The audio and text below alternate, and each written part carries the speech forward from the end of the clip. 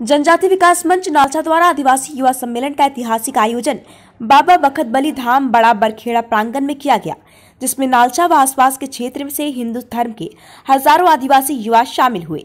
आयोजन में मुख्य वक्ता के रूप में मालवा प्रांत के जनजाति विकास मंच प्रमुख कैलाश आमलियार थे।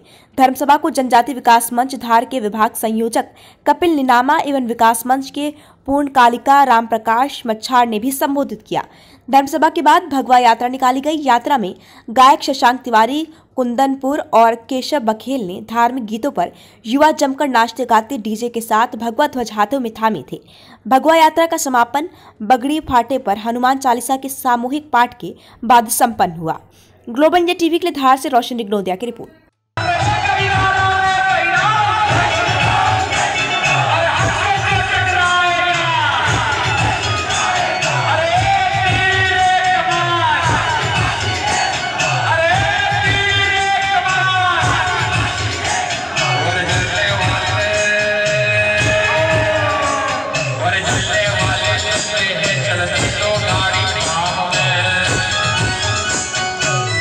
जनजाति विकास मंच के माध्यम से आदिवासी युवा सम्मेलन का कार्यक्रम था और इसमें जो आदिवासी क्षेत्र से आदिवासी बंधुओं का एक आह्वान था कि अपने धर्म को जीवित रखें और हिंदुत्व को बचा के रखें। इस उपलक्ष्य में पूरी आदिवासी जनजाति विकास मंच ने एक युवा सम्मेलन भगत वली बाबा से तो बगड़ी फाटे पे आयोजन रखा था और 101 कांवड़ यात्रा भोलेनाथ के इधर भेंट की आपका नाम बताओ। लालजी डावर नालछा जनपद अध्यक्ष।